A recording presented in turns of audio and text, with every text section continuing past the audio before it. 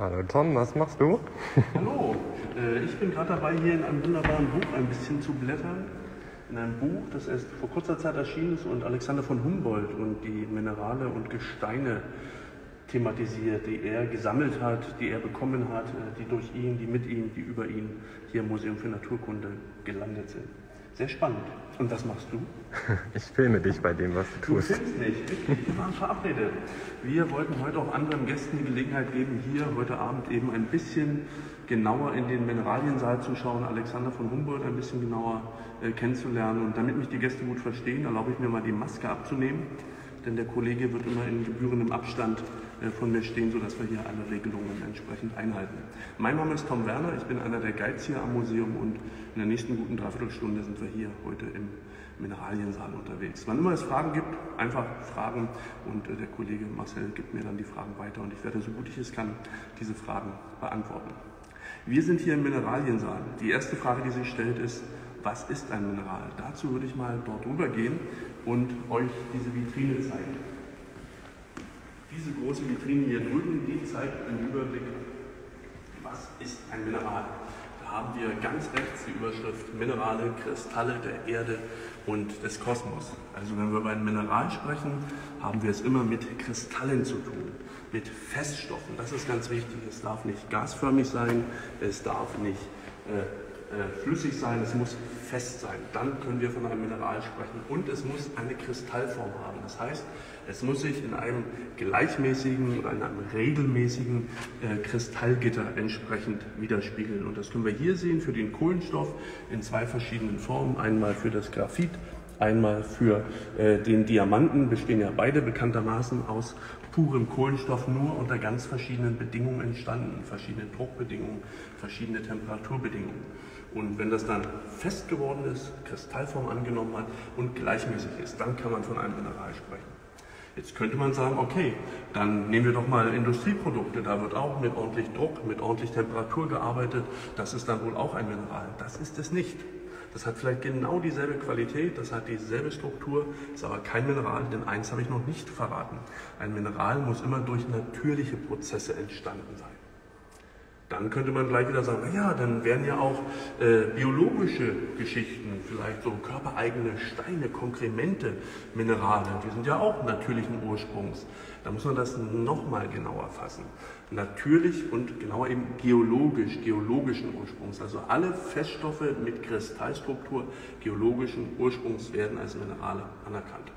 Davon gibt es äh, einige tausend hier in unserer Mineraliensammlung am Museum für Naturkunde können wir etwa 60 Prozent davon abdecken.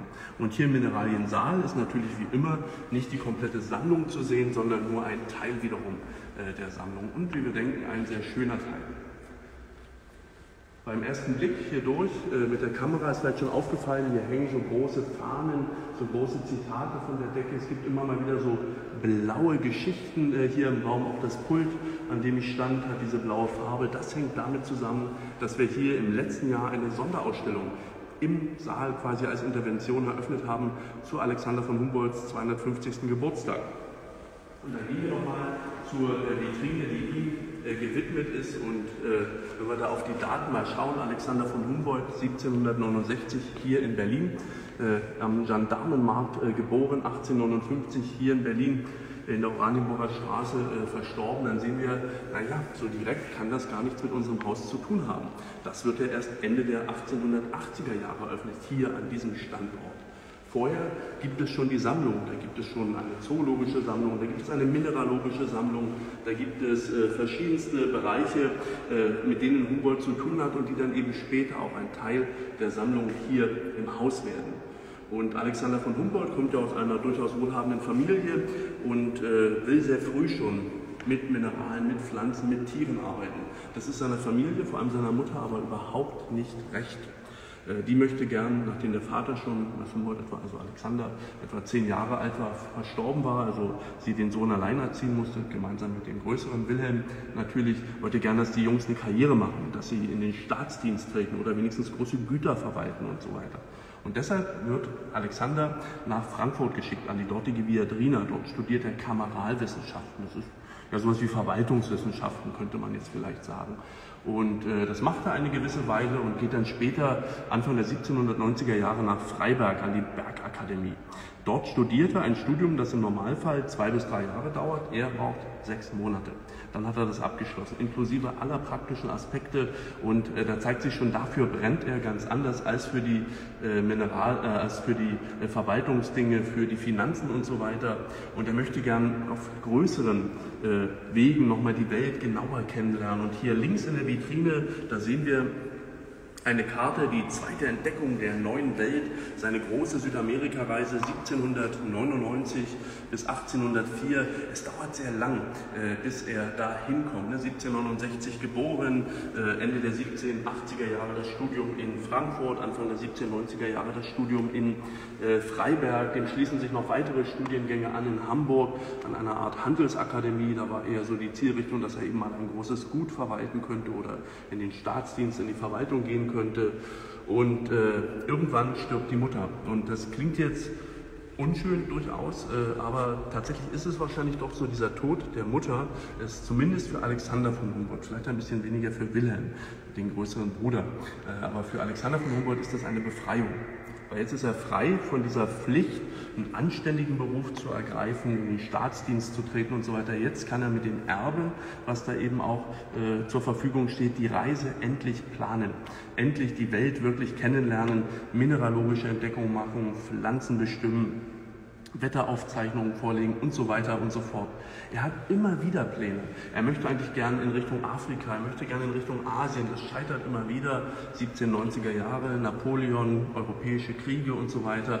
Und endlich, Ende der 1790er Jahre, ist es dann soweit, äh, dass er nach Südamerika reisen kann mit Genehmigung äh, der äh, spanischen Krone. Und da habe ich das nochmal ausgedruckt. Das ist die Reise, die er da antritt von Spanien aus, aus La Coruña entsprechend geht es rüber äh, nach Südamerika. Da macht er erst eine kleine Runde im nördlichen, nordöstlichen Teil von Südamerika. Dann geht es nach Kuba, dann geht es ins westliche Südamerika, dann geht es wiederum über Mexiko zurück nach Kuba.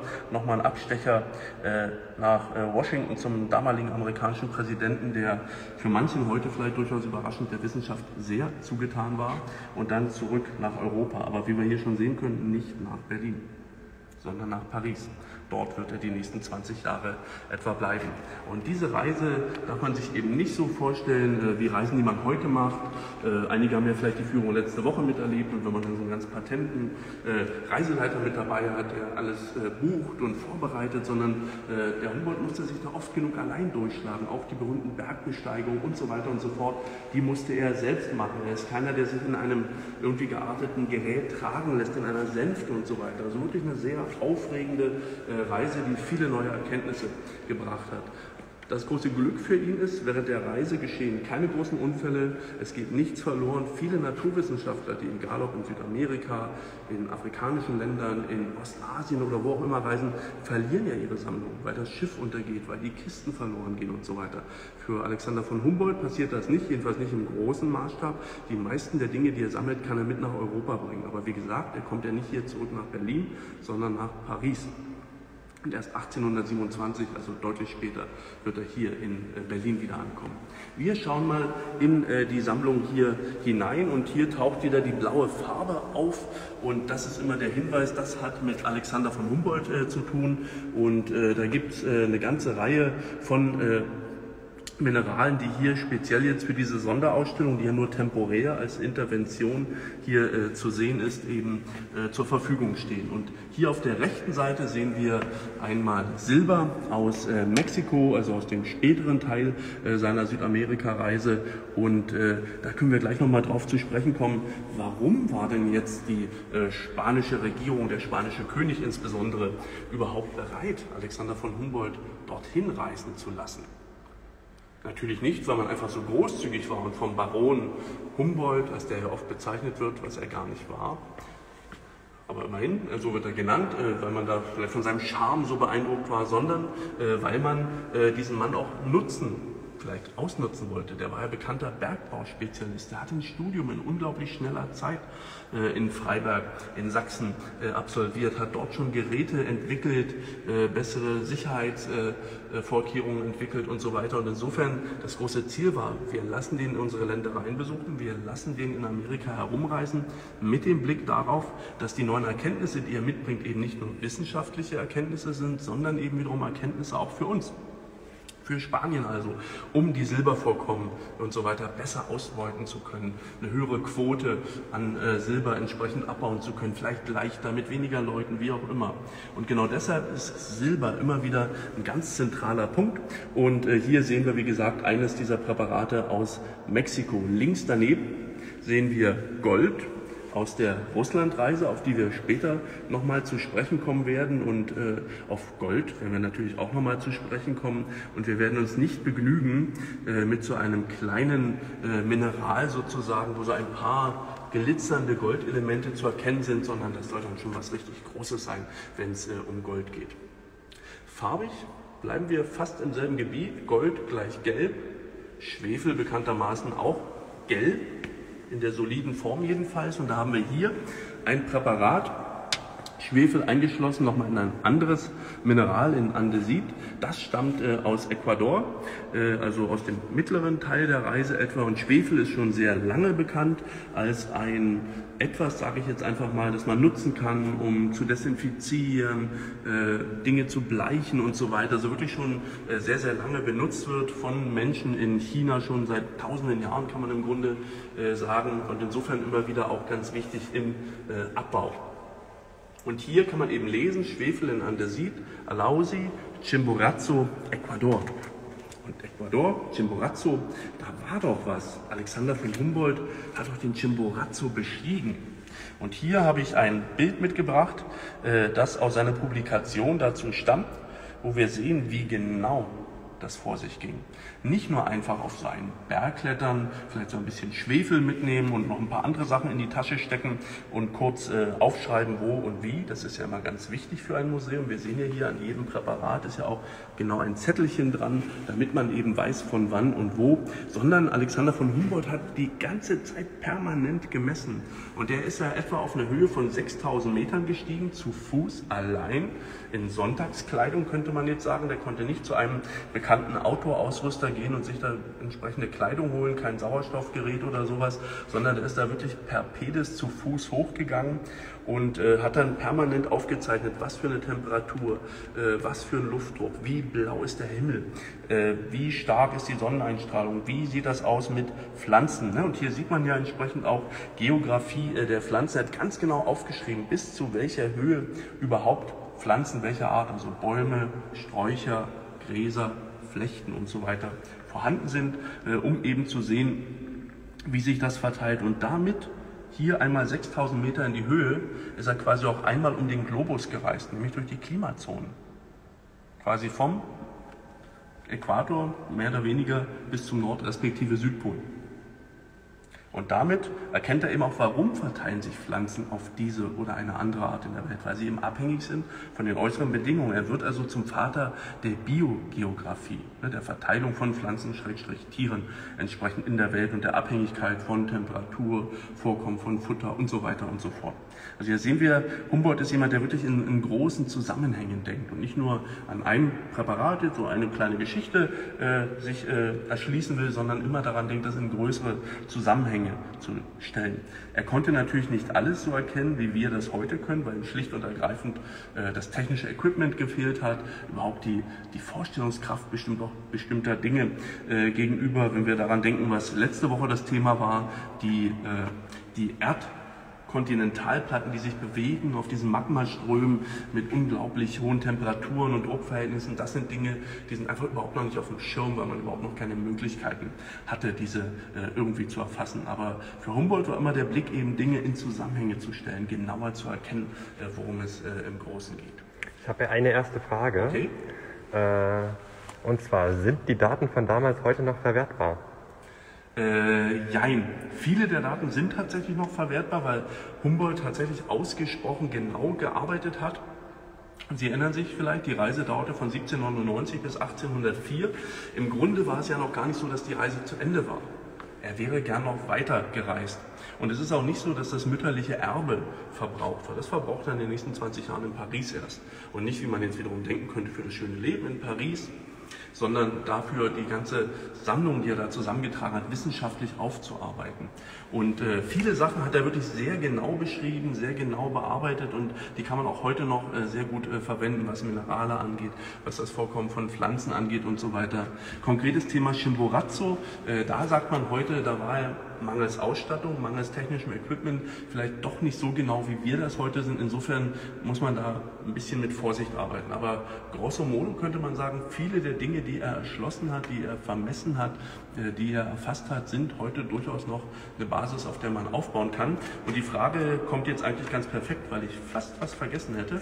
Ich hatte nämlich noch eine zweite Darstellung mitgebracht, den Chimborazo im Jahr der Ersteigung von Humboldt. Ne, da sehen wir nochmal diese Aufteilung, wo noch was wächst, wo dann eben so ein bisschen Schnee ist, wo dann komplett Schnee ist. Und dann sehen wir ja auf der rechten Seite ist ja alles ganz anders.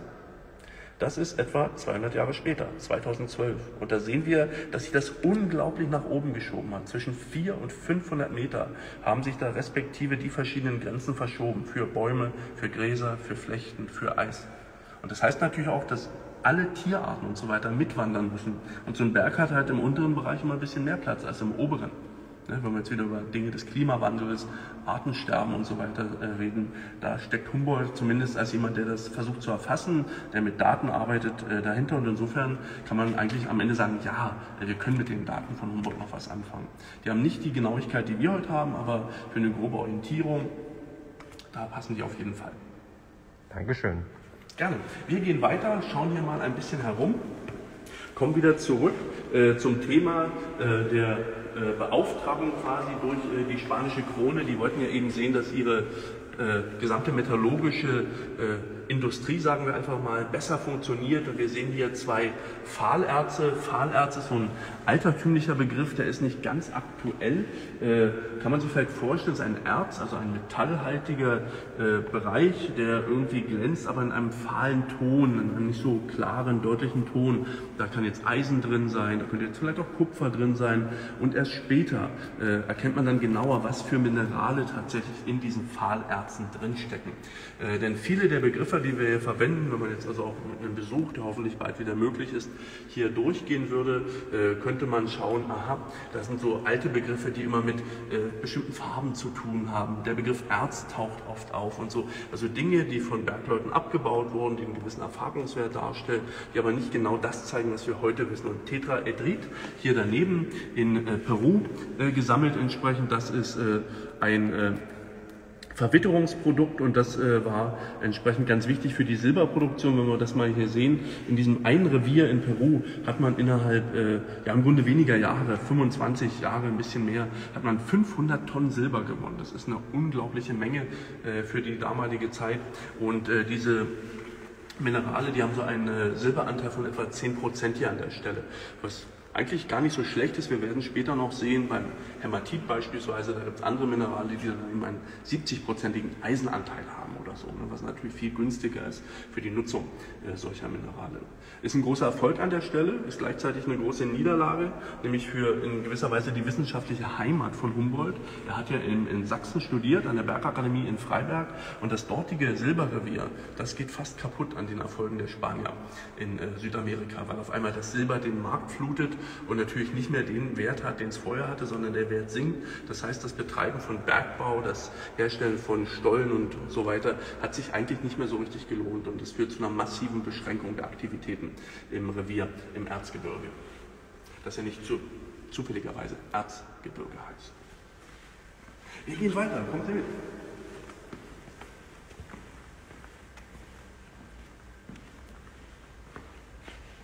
Ja, Im ersten Teil der Führung bleiben wir einfach auf den Spuren der äh, Reise in Südamerika, auf diesen blauen äh, Teilen taucht natürlich immer wieder mal äh, russische Reise oder Russlandreise auf. Das wollen wir dann im zweiten Teil der Führung vielleicht ein bisschen genauer betrachten. Hier geht es um Zinnabarit oder Zinnober, wie man das lange genannt hat, aus äh, Mexiko.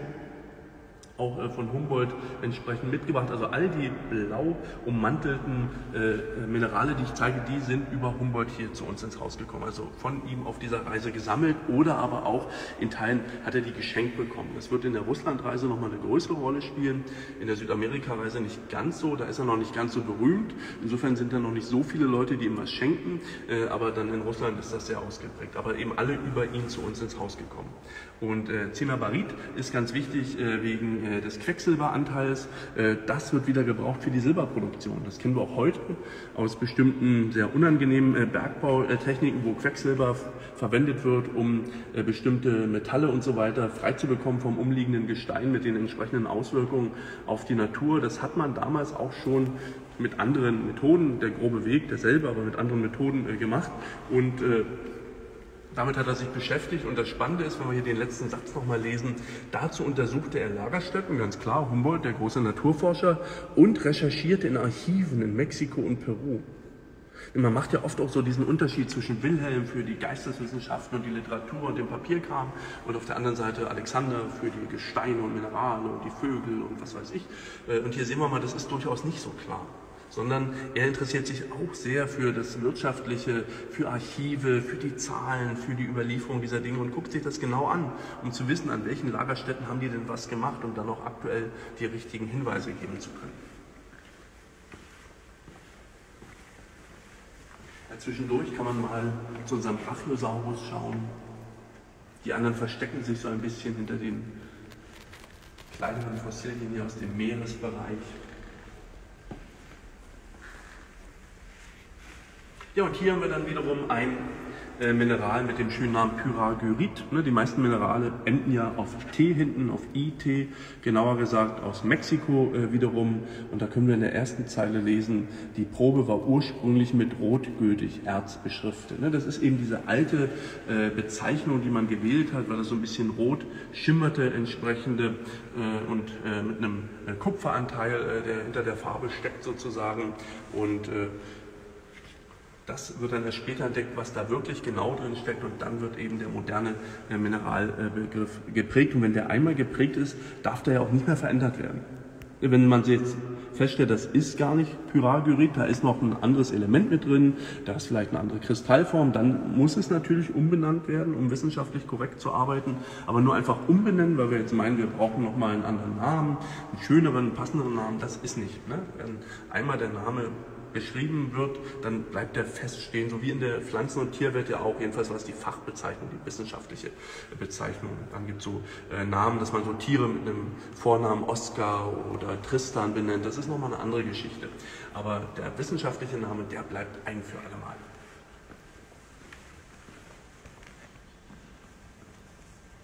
Ja, wir schlängeln uns hier so ein bisschen durch. Sie merken vielleicht, dass hier immer wieder so komische Aufkleber rumhängen ziemlich flächendeckend. Das hat damit zu tun, dass wir demnächst groß umbauen wollen. Wir wollen in den nächsten zehn Jahren hier, ich glaube, etwa 600 Millionen Euro verbauen, nicht, nur im Mineraliensaal, sondern im gesamten Gebäude, im Grunde im gesamten Areal. Das Museum soll ja komplett auf den neuesten Stand gebracht werden, was auch Brandschutz und Sicherheit und so weiter angeht. Die Sammlungen sollen besser aufbewahrt werden, die Ausstellungsflächen sollen vergrößert werden. Und das sind eine ganze Reihe von Messpunkten, damit wir dann am Ende auch genau wissen, äh, wie viel haben wir denn hier äh, zu tun, wie viele Dinge sind hier entsprechend äh, äh, zu bauen. Und wenn wir uns jetzt hier ein bisschen nach rechts wenden, ganz rechts haben wir das Halit. Das ist ein Steinsalz, also im Gegensatz zu den anderen Sachen, die wir bisher gesehen haben, die meistens hydrothermal entstanden sind. Das heißt also so in Gesteinsgängen, äh, wo Wasser durch ein in der Nähe befindliches Magma äh, erwärmt wird und dann eben auch noch in sehr hohen äh, Temperaturen flüssig bleibt, obwohl es ja eigentlich ab 100 Grad gasförmig werden müsste und die dann eben ausfallen. Halit ist eine Sedimentation, ganz klassisch. Ne? So ein Meer äh, zieht sich zurück, trocknet aus und Steinsalz bleibt da. Und das war eben auch eine der ganz, ganz wichtigen äh, Dinge äh, für die äh, spanische Seite hier, die Versorgung mit Salz sicherzustellen. Ne? Wenn wir an Lebensmittel denken, an das entsprechende Aufbewahren von Dingen. Und auch dort konnte Humboldt mit der Erfahrung, die er hatte, eben nochmal Hinweise geben, äh, wie das äh, besser funktioniert, ein Gutachten in spanischer Sprache dann entsprechend äh, verfassen, um dort Hinweise zu geben, wie das besser zu machen ist. Mit der spanischen Sprache haben wir dann gleich nochmal den Blick darauf, Humboldt ist auch ein, also Alexander von Humboldt äh, ist auch ein Sprachgenie in einer gewissen Weise. Ne? Also nicht nur Wilhelm ist das, sondern auch Alexander, der natürlich fließend Französisch, Spanisch und andere Sprachen spricht und in Südamerika für seinen Bruder Wilhelm, der zum Beispiel auch Sprachen sammelt. Ne, das könnten wir heute ganz einfach machen, so wie der Kollege jetzt. Wir filmen da jemanden ab und haben dann eben das Bild und dann auch das Audio-File entsprechend und wissen, wie so eine Sprache klingt. Der Humboldt konnte nur Sachen aufschreiben. Ne? Auch nochmal ganz spannend, wie man früher versucht hat, Sprache zu erfassen. Ja, eine ganze Reihe von Dingen jetzt hier aus der, der russischen Reise, aber hier nochmal ein äh, Kuprit aus der amerikanischen äh, Reise, äh, einer aus der russischen Reise entsprechend. Das sind äh, Dinge, wo auch immer wieder äh, Veränderungen vorgenommen worden sind, weil man sagt, äh, die Dinge, die dort vielleicht auf dem Etikett stehen, die glauben wir gar nicht, weil wir heute wissen, dass es an einem bestimmten Ort äh, dieses Mineral eigentlich gar nicht gibt, womit sich dann immer mal die Frage stellt, warum steht das auf dem Etikett? Und das kann eben wiederum damit zu tun haben, dass Humboldt diese Dinge geschenkt bekommen hat oder vielleicht angekauft hat und dann eben unklar ist, wo das herkommt und vielleicht einfach der Ort vermerkt wurde, wo er gerade unterwegs war und das aber von 50 Kilometer weiter weg kam, wo es dann eventuell solche Mineralvorkommen gibt. Hier gibt es gerade eine Frage, äh, die kann ich beantworten. Kann man euch Bilder von äh, eigenen Gestein schicken, um sie zu identifizieren?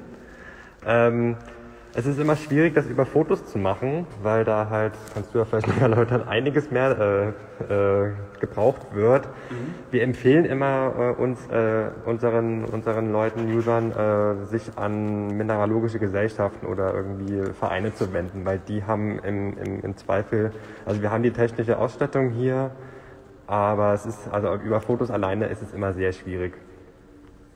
Ja. Ja, klassischerweise würde man ja Minerale bestimmen nach der äußeren Form, also auch wie die entsprechenden Kristalle ausgeprägt sind, was man manchmal mit dem bloßen Auge sehen kann, manchmal vielleicht quasi nur mit der Lupe, weil das sehr kleinteilige Geschichten sind. Und man würde dann äh, mit einem Strichtest zum Beispiel arbeiten, das heißt auf so einer weißen Tafel einfach mal das Mineral entlang ziehen, um zu gucken, was da die Strichfarbe ist. Man würde gucken, was jetzt vielleicht für Sie sehr unangenehm ist, äh, ob man das Ding spalten kann und wie es sich spaltet. Man würde gucken, wie hart es ist. Die sogenannte Mooshärte würde man prüfen, also im Wechselspiel mit anderen Mineralen, wo wir wissen, welche es sind und welche Härte sie haben. Und äh, insofern das Foto reicht tatsächlich in der Regel nicht.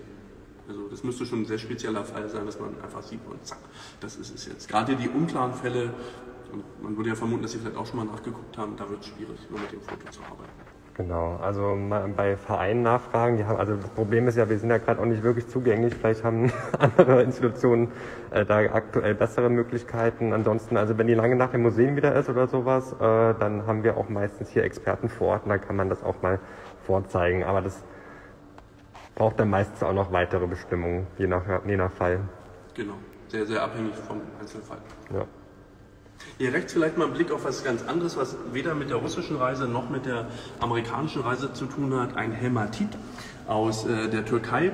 Äh, die hat ein äh, Landschaftsmaler auf einer Reise nach Rhodos und Kleinasien äh, Anfang der 1850er Jahre äh, gesammelt und dann später Humboldt geschenkt. Also einfach zum einen nochmal der Blick darauf, mit was für Netzwerken arbeitet äh, der Mann und äh, zum anderen Hämatit eben wirklich ein ganz wichtiges Mineral. Äh, vorhin hatten wir so Silbergeschichten mit 10% Anteil und so. Hier haben wir eine, ein Mineral, das ich glaube einen 70-prozentigen Anteil an Eisen hat und das lohnt sich natürlich dann einfach äh, äh das abzubauen. Äh, dann gibt es noch das äh, Magmatit, das hat einen Eisenanteil von 72 Prozent, das ist noch ein bisschen besser, aber Hämatit ist auch ganz gut. Ja, und dann noch eine spannende Geschichte, wenn wir den letzten Satz lesen. Humboldt schätzte die Landschaftsmalerei sehr und erkannte ihre Bedeutung als wertvolle Ergänzung zu Textbeiträgen. Ne, das heißt also, der Humboldt hatte eben auch wirklich so einen Blick gehabt für andere Sachen. Heute würden wir sagen, meine Güte, so ein Landschaftsmaler ist ja ganz schön, ne? aber was soll denn das so einem Mineralogen bringen? Naja, oft geht es ja um, um ein eher reelles Abbild. Gerade bei Landschaftsmalerei geht es ja eher nicht darum, etwas noch besonders schön zu machen, aber manchmal vielleicht schon, aber in der Regel vielleicht um eine reelle äh, Abbildung. Und insofern konnte man vielleicht auch bestimmte Schichten, Formationen von äh, Gesteinen und so damit äh, festhalten, wie wir das heute eben einfach mit einem Foto machen. Ne? Wir hatten ja gerade die Frage, kann man mit einem Foto so ein Mineral bestimmen? Ist unter Umständen möglich, unter Umständen schwierig. Aber wenn wir jetzt alles erstmal selber nur abzeichnen könnten und so weiter und gar nichts hätten, um sowas äh, bildlich aufzunehmen, äh, dann hat man vielleicht ein bisschen Verständnis, warum der Humboldt auf einmal so viel Sympathie für die Landschaftsmalerei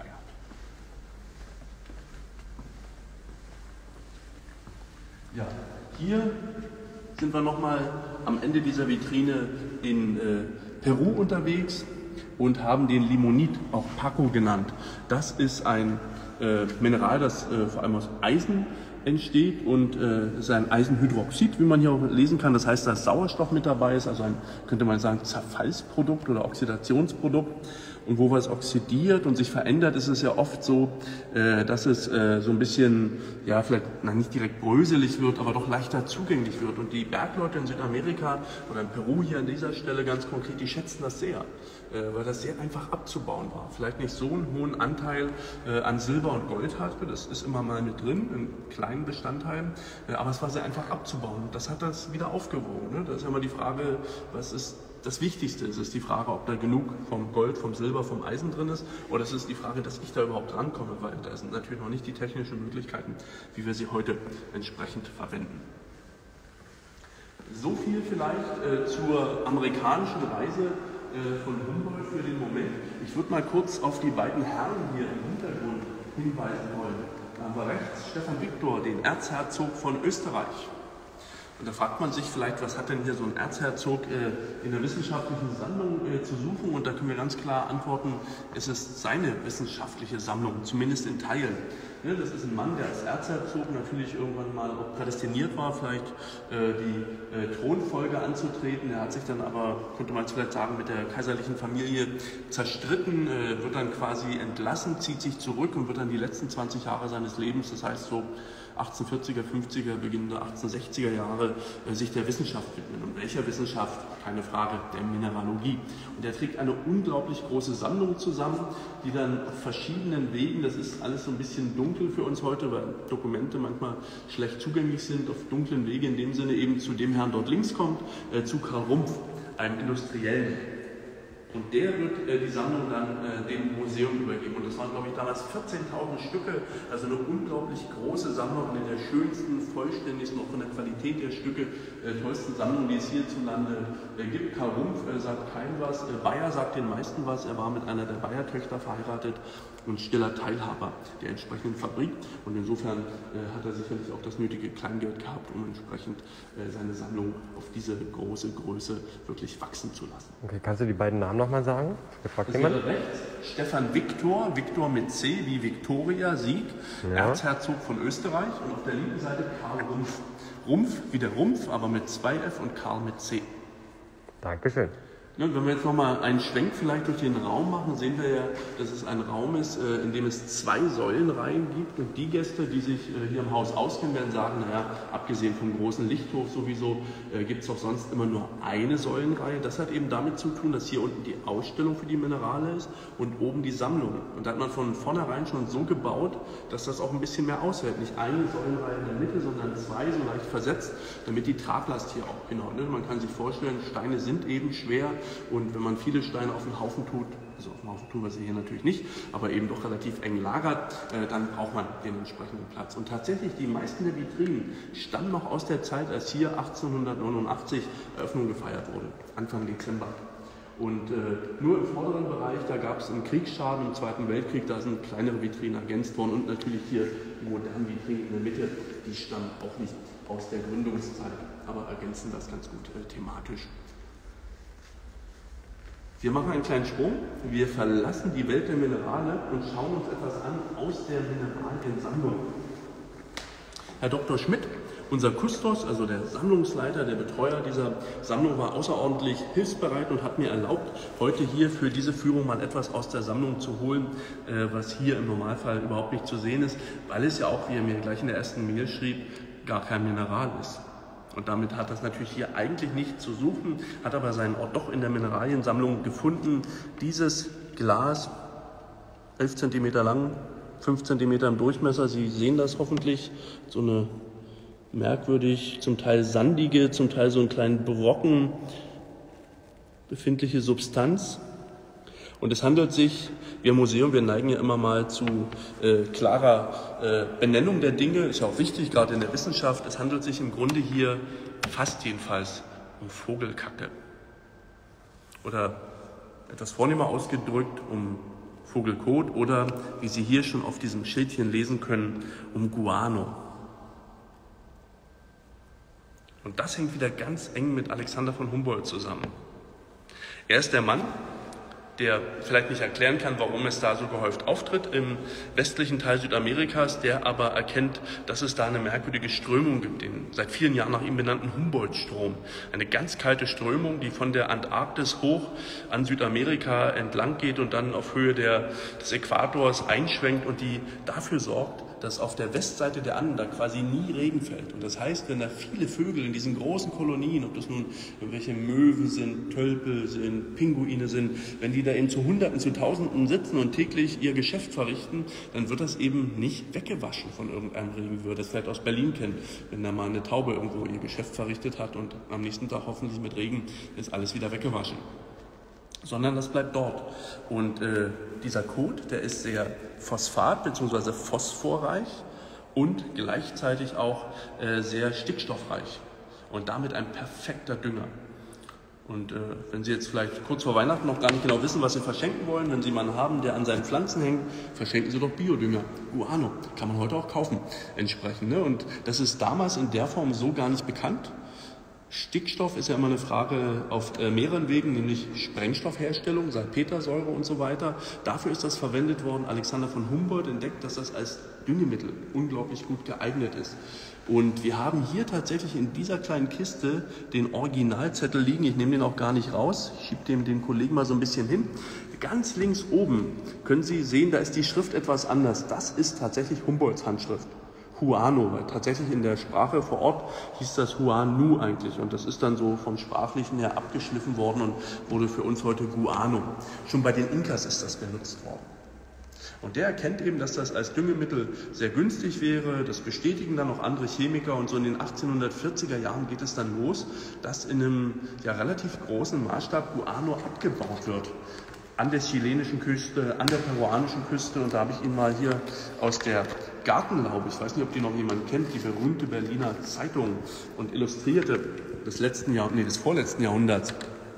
Ja, da sieht man so ein bisschen wieder mit Leitern an diesen unglaublich dicken 10, 12, 14, 20 Meter hohen Guano-Ansammlungen äh, gearbeitet wird, wie viele Schiffe da quasi auf Rede liegen und warten, beladen zu werden. Und da kann man zum Beispiel sagen, 1860er Jahre Peru, 20.000 chinesische Arbeiter, die natürlich dort waren, weil sie preiswerter waren als die peruanischen, haben das Guano abgebaut. Das ist auf Schiffe verladen worden und dann natürlich noch nicht über den Panama-Kanal, den gibt es ja noch nicht, sondern unten um Südamerika herum nach Europa gebracht worden. Hier schreibt sogar einer, Argentinien und Peru hätten Krieg geführt, um gegen, äh, ja. gegen um Guano zu gewinnen? Genau, Guano-Salpeterkrieg, ganz genau. Ah, okay, hat sogar einen Namen. Genau, ne? Also, und wir reden ja heute immer über Globalisierung und alle denken, es hat so in den letzten 20 Jahren mit dem Internet irgendwie angefangen. Globalisierung ist schon viel älter, die hat viel, viel früher äh, angefangen. Und heute wird Guano immer noch äh, benutzt äh, als Dünger, als spezieller, äh, biologisch äh, geeigneter Dünger, aber äh, diese Rolle hat es eigentlich verloren. Heute wird Dünger ja industriell hergestellt. Haber-Bosch-Verfahren sagt vielen vielleicht was, seit 1908, glaube ich, war der Haber erstmal unterwegs, um das auf der Laborebene zu machen, Stickstoff zu gewinnen, aus der Luft quasi oder tatsächlich aus der Luft. Und dann seit den 1920er Jahren das großindustrielle Verfahren, hunderte Tonnen täglich, dann Karl Bosch und das ist dann eben das berühmte Haber-Bosch-Verfahren. Verfahren, das heute für die Industrie weltweit eine große Bedeutung hat, weil das eben für Düngemittel und auch gleichzeitig für die Sprengstoffherstellung eine wichtige Basis ist. Ähm, Sarah fragt, und wo sollen die armen Vögel brüten, wenn ihre aus Guano bestehenden Nester entfernt werden? Äh, das ist eine spannende Frage und äh, vielleicht war auf den Bildern, ich gucke nochmal, ob ich eins ein größeres dabei habe, wo man das so ein bisschen sieht, das ist ja alles Handarbeit.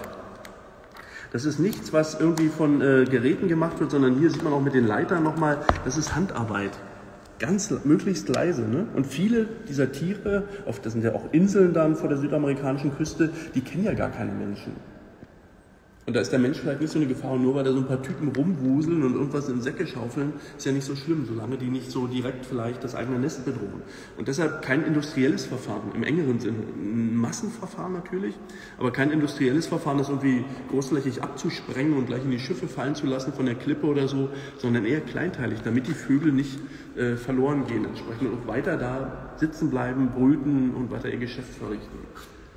Heute ist es so, dass eines der Tiere, was nach Humboldt benannt wurde, nämlich der Humboldt-Pinguin, in seiner Existenz auch durch den erfolgreichen Abbau des Guanos bedroht ist. Warum? Der Humboldt-Pinguin eben auch im Guano quasi brütet und sich dort auch Gänge gräbt und so weiter. Und äh, wenn dann eben das Guano nicht mehr da ist und im Gestein kann er halt keine Gänge graben oder ein irgendwie geartetes Nest in, einem weiteren Sinne äh, bauen, äh, dann kann er sich halt nicht mehr fortpflanzen. Ne? Also da sehen wir nochmal, wie eine Schleife dranhängt und das war mit Humboldt wirklich bei einem ganz großen Kosmos sind. Man kann da an ganz vielen Seiten äh, ziehen und kommt immer wieder zu neuen Themen entsprechend. Das hört einfach nicht auf. Oder wie Goethe das mal so schön gesagt hat, der war ein großer Fan von Alexander von Humboldt, äh, sehr zu Missfallen, glaube ich, eines gewissen Friedrich Schillers, hat gesagt, wenn man mit Humboldt zusammen ist, das ist, als ob 100 Brünnlein gleichzeitig flössen. Also das ist, man verbringt so kurze Zeit mit ihm und so viele Sachen werden angesprochen, so viele Themen und so viele Anregungen und so. Und das ist tatsächlich so. Also für mich auch ganz persönlich, wenn man sich mit Humboldt beschäftigt, da kann man ganz viele Dinge entsprechend wiederum in einem großen Netzwerk, in einer Art Kosmos äh, zusammentragen entsprechend. Gut, wir gehen noch ein bisschen weiter. Äh, falls wir auf dem Weg Pyrite sehen, äh, die möchte gerne jemand sehen. Die waren, glaube ich, auf der anderen Seite. Da kommen wir jetzt so direkt äh, nicht mehr vorbei. Aber wir sehen noch äh, zwei andere Sachen. Okay. Einmal hier ein Muskovit, wo ich den Kollegen mal bitten würde, den ganz scharf ins Auge zu fassen. Der ist jetzt vielleicht als äh, Mineral nicht so besonders, aber der ist ganz spannend. Vielleicht kann man auch äh, mit der Aufnahme erkennen, da sind zwei Zettelchen drauf, einer links und einer rechts. Und vielleicht erkennt man auch, dass da eine Bruchkante ist. Da sind wir zum einen nochmal beim Thema Sammlungen. Das heißt, äh, es geht immer darum zu wissen, wann, wo, wie und so weiter. Ne? Also ein schönes Tier, von dem wir nicht wissen, von wo es kommt, ein schönes Mineral, von dem wir nicht wissen, woher es kommt, äh, hilft nicht. Wir müssen wissen, wo, wann, wie, damit wir das wissenschaftlich bearbeiten können. Ne? Deshalb immer ein Zettelchen dran. Und hier sieht man, dieses Mineral ist entzweigeschlagen worden. Ja, man sieht auch die Bruchkante, da passt wirklich sehr gut, ist da wieder reingesetzt worden und das hat aller Kenntnis nach, die wir heute eben haben, ist ein bisschen Zeit vergangen, Humboldt selbst gemacht. Warum? Weil er die Sachen gar nicht für sich behalten wollte, weil er sofort oder immer wieder jedenfalls dran gedacht hat, Mensch, da gibt es doch jemand vielleicht an der Bergakademie in Freiberg, da gibt es jemanden in Paris, da gibt es jemanden in Berlin, da gibt es jemanden dort und dort, der beschäftigt sich doch damit, der könnte sich das angucken und damit was anfangen. Also zerschlagen, jeweils mit einem Zettel versehen, damit man ganz genau weiß, was es ist und damit eben die Scientific Community entsprechend bedienen.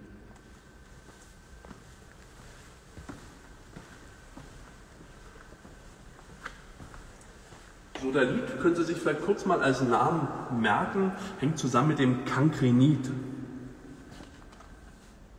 Gustav und Heinrich Rose, zwei Brüder. Gustav Rose für uns nochmal besonders wichtig als Begleiter von Humboldt dann auf der Reise nach Russland spielt eine große Rolle.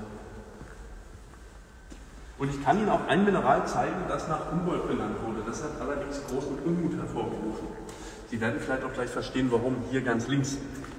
Humboldtin. Und da sehen Sie, das ist Gips in Braunkohle. Und da kann man sich ja schon fragen, naja, Humboldt war schon, sind wir heute mal sehr kritisch, großer Mann ist so ein Wort, das man nicht mehr so gern verwendet vielleicht, aber der war schon irgendwie wichtig und besonders und spielt eine große Rolle historisch gesehen, dass man jetzt so ein Gips nach ihm benennt, ist jetzt vielleicht, ja, ist irgendwie in Ordnung, aber nicht schön. Es wäre doch besser, wenn man da, ja, wenigstens ein tolles Erz mit Goldader oder so nach ihm äh, so in die Richtung benannt hätte. Und da gab es auch Streit. Ne? Da haben sich die Wissenschaftler dann gezankt und gesagt, also du, das ist nicht richtig. Und das hat äh, ein peruanischer äh, Mineraloge beschrieben, äh, Mariano de Rivero heißt der Mann, 1821 auch schon, also relativ früh. Und äh, Breithaupt, ein deutscher Mineraloge, der dann wiederum auch an der Bergakademie tätig war, als Nachfolger von Humboldts akademischen Lehrer, äh, Gottlob Abraham Werner, nur zufällig der Name mit meinem der gleiche, aber nicht äh, verwandt, soweit ich weiß. Äh, und äh, der protestiert ganz energisch. Es kann nicht sein, dass wir nach dem großen Gelehrten Humboldt was benennen, was dann nur ein Gips ist. Aber das ist jetzt benannt und dann bleibt es so. Das kann man jetzt nicht wieder verändern und sagen, Humboldtin benennen wir jetzt irgendwie um, damit wir für Humboldt nochmal ein richtig schönes Mineral aussuchen können. Ja, wenn wir jetzt quasi zu unserem Startpunkt zurückkehren, dann sehen wir hier, dass auf einmal ganz andere Vitrinen im Raum stehen so vom Rhythmus her der Aufteilung im Raum, wäre das ja der Ort, wo vielleicht wiederum diese klassischen Vitrinen stehen sollten. Und hier gab es eben einen, einen äh, Bombenschaden äh, im Zweiten Weltkrieg. Und dann ist hier eben tatsächlich später nochmal mit äh, diesen äh, Ersatzvitrinen Platz geschaffen worden für Minerale. Und äh, manchmal werden sie gern als Schneewittchensärge bezeichnet, wenn man sich so das Märchen vor Augen führt. Das würde hier auch irgendwie ganz gut passen. Ja, also hier sehen wir mal, das ist nicht mehr äh, die Originalausrüstung an Mobiliar. Was ja schon eine große Besonderheit ist, dass wir hier tatsächlich in diesem Haus, das ja mit dem Ostflügel und so weiter von heftigen Zerstörungen betroffen war, tatsächlich noch das Originalmobiliar haben. So, wir sind jetzt quasi am Ende der amerikanischen Reise, in der Zeit auch schon ganz schön weit fortgeschritten, aber wir wollen natürlich noch nach Russland schauen, die zweite große Reise, die Humboldt gemacht hat. Aber erstmal kommt er in Paris an braucht viele Jahre, um die Funde zu publizieren, um das äh, Werk äh, entsprechend äh, irgendwie auch mit Bildern, mit Grafiken zu versehen. Und äh, leider ist dann 1827 sein Geld alle und alle Pläne, nochmal eine neue Reise zu machen in Richtung Afrika oder noch mehr im, im Fokus seiner Aufmerksamkeit in Richtung Asien die scheitern, weil ohne Geld kann er halt die Reise nicht machen. Das war übrigens auch der große Vorteil bei der Zustimmung des spanischen Königs, dass Humboldt nicht fragen musste, zahlen Sie mir die ganze Reise und ich darf überall hin und dafür gebe ich Ihnen Berichte, wie Sie vielleicht mit dem Salzabbau besser hinkommen, das Silber besser erschließen können, sondern er sagt, ich bezahle das alles selbst aus meiner eigenen Tasche, aber ich brauche Ihre Genehmigung. Das geht nun nicht mehr. Aber er ist unterdessen eben doch sehr berühmt geworden, nicht zuletzt mit seinen großen bekannten Kosmos-Vorlesungen hier in Berlin 1828, 1829 in der Singakademie, wo quasi das ganze Berlin, jedenfalls sagen wir mal das ganze bürgerliche Berlin, vom Handwerksburschen bis zum König tatsächlich äh, zumindest zeitweise äh, vor Ort war. Ne? Eine Vorlesung, die er erst an der Universität gehalten hat und später nochmal in der Singakademie für einen großen Kreis. Und er ist so bekannt, äh, dass dann äh, Leute eben auch reagieren auf seine Wünsche. Ja, und Kankrin, der russische äh, Finanzminister, der schreibt ihn und fragt, äh, ob er ihm nicht irgendwie mal helfen könnte, weil Russland plant, seine äh, Münzen auf Platin umzustellen, weil das eben noch wertvoller ist. Und da war die Frage, naja, es ist wertvoll, das ist ganz gut für wertvolle Münzen, aber die Frage ist, naja, wie, wie kann man das verarbeiten, wo finden wir das, wie kommen wir da ran? Und äh, Humboldt eben als bekannter Bergbauspezialist, jemand, der sehr viele Dinge äh, kennt, wurde gefragt, was er denn davon hält. Und er hat in der Antwort an Kankrin geschrieben, ja, da kann ich gerne helfen und es würde mich doch außerordentlich freuen, äh, vor Ort auch Dinge sehen zu können. Und Kankrin schreibt ihm sofort zurück, also sofort im Rahmen der Zeit, Wochen später, äh, dass das überhaupt kein Problem ist. Seine Majestät, der russische Zar, äh, bezahlt natürlich alles und er ist eingeladen und äh, er macht eine Reise, die vom reinen Weg jetzt auf der Reise doppelt so groß ist wie die in Südamerika. Ne, Südamerika ist mal weggelassen, dass er da den Atlantik jeweils überqueren musste, aber das, was er in Südamerika zurückgelegt hat, waren glaube ich ungefähr 8000 Kilometer. In Russland sind es 19.000 Kilometer innerhalb von 260 Tagen. Ich glaube, 12.000 Pferde äh, wurden da gebraucht, immer wieder gewechselt. Es war also alles bestens organisiert. Und hier kommen wir dann auch nochmal auf die Geschenke. Jetzt ist es so, dass permanent auch große Delegationen warten in den Städten, ne? über, äh, über Leningrad bzw. Äh, St. Petersburg natürlich, Moskau, Jekaterinburg und so weiter. Überall wird er empfangen, bekommt Geschenke, Minerale, ein Schneeleopardenfell und vieles andere mehr. Und äh, äh er ist äh, davon auch ein bisschen genervt, weil er wollte ja eigentlich mehr forschen und Dinge erkennen, aber er muss es eben hinnehmen. Er ist ja auch ein Kammerherr des preußischen Königs und insofern in einem gewissen Dienstverhältnis. Dafür wird er ja auch bezahlt. Ne? Deshalb kommt er 1827 auch nach Berlin, weil er damit sein Leben äh, finanzieren kann, weil das Erbe eben äh, nicht mehr da ist.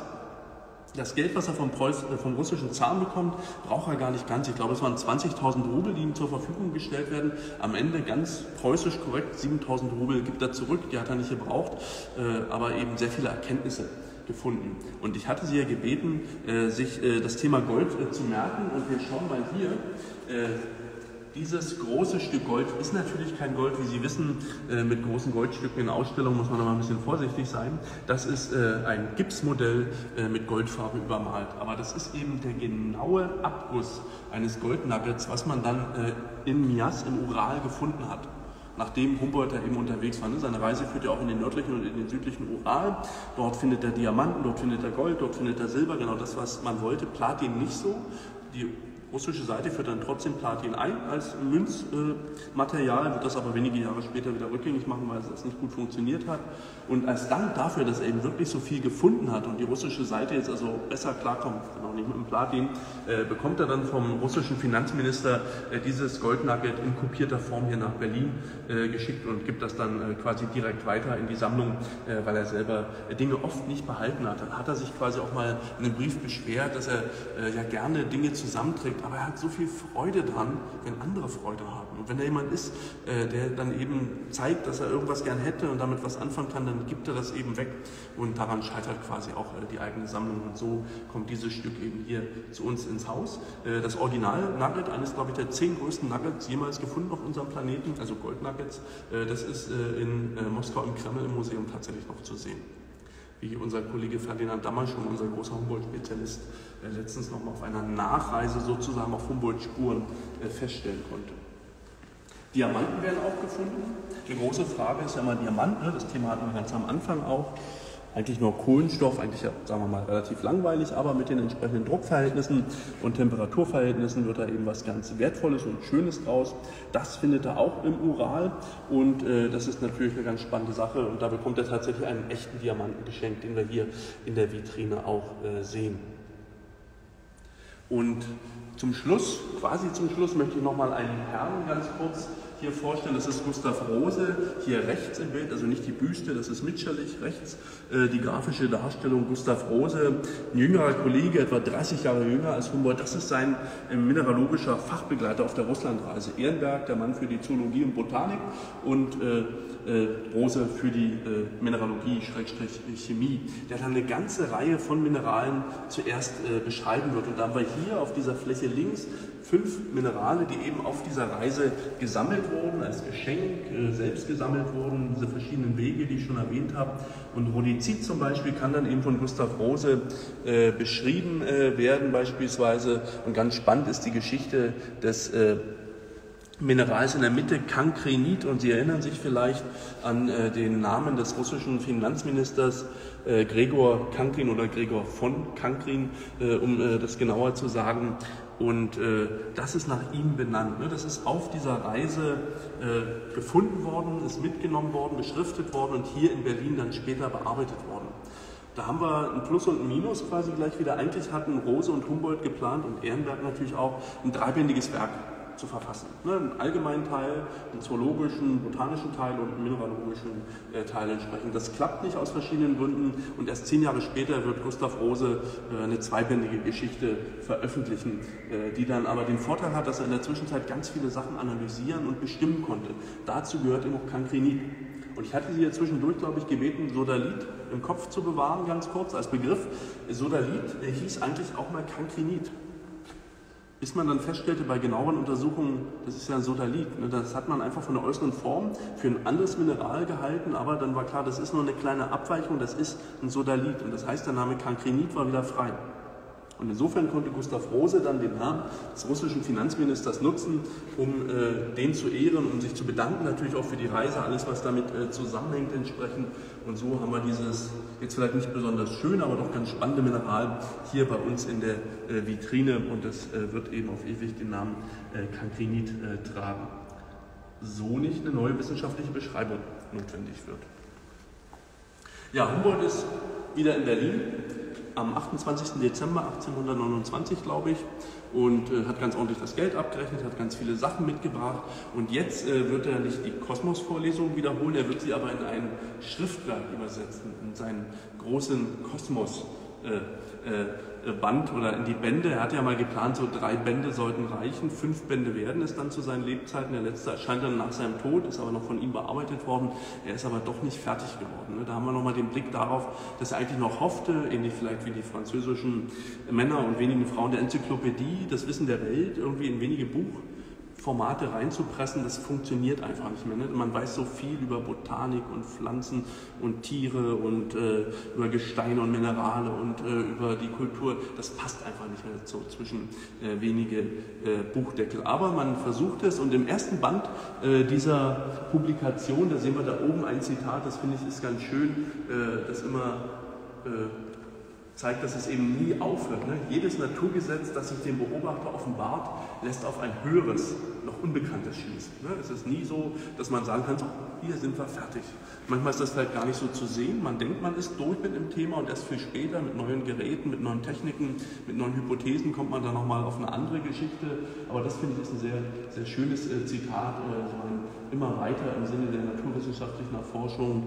Äh, äh, Zwerge auf den Schultern von Riesen und so weiter. Das könnte man ja viele Dinge entsprechend übersetzen. Das passt ganz gut. Wie gesagt, der letzte Band erscheint dann posthum schon nach seinem Tod, 1859, riesengroßes Begräbnis, hunderte Leute, die dem Sarg folgen in Richtung Tegel. Ganz zum Ende unserer Führung möchte ich mit Ihnen aber noch mal kurz in den Saal nebenan und in die Frühzeit von Humboldt, kurz bevor er äh, in die äh, große Reise hineingeht und nach Südamerika aufbricht. Kommen Sie mit, wir schauen noch mal mit in den Sauriersaal, der ist ja auch ganz festlich beleuchtet und ich glaube sogar der Sound ist ab und an zu hören, so wie wir uns jedenfalls vorstellen, wie die Dinosaurier mal Sound erzeugt haben.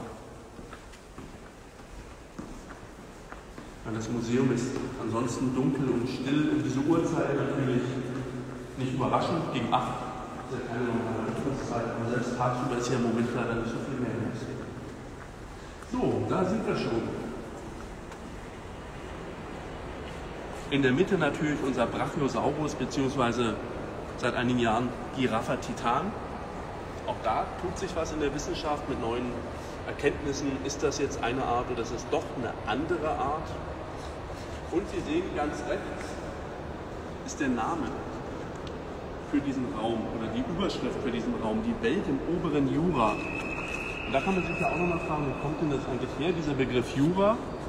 Und da kann ich Ihnen zeigen, wo das herkommt, aus diesem Buch über die unterirdischen Gasarten, natürlich von Alexander von Humboldt. 1799 publiziert, gar nicht mehr selbst von ihm publiziert, sondern von seinem Bruder. Er war schon auf Reisen und sein Bruder hat es dann für ihn auf den Weg gebracht. Und in diesem Buch, auf Seite 39, schreibt er dann auf eine Schicht, welche zwischen dem alten Gips und dem neueren Sandstein liegt, welchen ich vorläufig mit dem Namen Jura-Kalkstein bezeichne. Und dann führt er auf, wo das auftritt, eben in Deutschland, in der Schweiz, in Italien, erkennt also, dass ein größeres System dahinter steckt. Es ist noch nicht die Bezeichnung, die wir da oben haben quasi Jura-Zeit steckt da ja drin. Ne? Aber er kennt schon diese führende Schicht, die dann die Zeit bestimmt. Das ist ganz spannend. Und dass eben Jurassic Park Jurassic Park heißt, haben wir quasi auch Alexander von Humboldt zu verdanken, weil er eben das Jura als Jura bezeichnet hat. Und Leopold von Buch war das dann, glaube ich, der das dann auch in diese geologische Zeitepoche mit äh, hineingenommen hat. Das geht ja immer nach einer entsprechenden führenden Gesteinsschicht, Devon und so weiter und so fort. So wird das ja entsprechend bestimmt. Ja, mit diesem sehr frühen Erkenntnisweg von Alexander von Humboldt bin ich meinerseits eigentlich auch schon am Ende unseres Rundgangs. Ich hoffe, dass es Spaß gemacht hat, äh, dass Sie vielleicht auch neugierig geworden sind, nochmal zu gucken, sich die Minerale genauer anzugucken, nochmal Fragen zu stellen. Ich bedanke mich für Ihre Aufmerksamkeit und wenn keine Fragen mehr sind, wünsche ich einen schönen Abend. Ja, ich würde nochmal kurz hier durchgehen. Äh, es gab noch die Frage, was hat er denn genau in Paris gemacht? Vielleicht kannst du das kurz in... In Paris hat er vor allem publiziert, hat Kontakte geknüpft, hat Briefe geschrieben, hat, äh, hat äh, in verschiedenen Akademien mitgearbeitet, so ein wissenschaftliches Netzwerk im Grunde äh, geführt, was er dann natürlich ohne Probleme mit nach Berlin ziehen kann, als er dann 1827 nach Berlin kommt, wo er dann bis zu seinem Tode, bis auf die russische Reise und kleinere andere Reisen lebt. Wird es noch mehr Humboldt-Führungen hier geben in Zukunft? ja, mit Sicherheit. Ja, also ähm, wir werden auf jeden Fall äh, ja, in, in Kürze die Podcast-Folgen für nächstes Jahr durchgeplant haben und dazu wird es auch Livestreams geben und ähm, wir schauen mal. Ich habe da ja da was von einem Schneeleopardenfell gehört. Das müssten wir rein theoretisch auch mal zeigen. ähm, genau. Und ja, das war's mit den Fragen. Ich scroll nochmal, ja. Danke, dass ihr alle mit dabei wart. Danke, Tom. Sehr viel Lob an dich ja. hier in den Kommentaren. Äh, ich, genau. Nächster Livestream, genau. Gute Frage. Nächsten Montag äh, mit Corby und Fred, auch Guides bei uns am Museum. Die kennt ihr vielleicht schon. Wir schauen hinter die Kulissen äh, und werden uns mit dem Thema Wissenschaftsgeschichte und genau mit den ganz, ganz alten Fischen in der Forschungssammlung beschäftigen. Also seid gespannt. Gut. Na dann, wir winken in die Kamera und sagen Tschüss und schönen Abend. Genau, bis zum nächsten Mal. Ciao.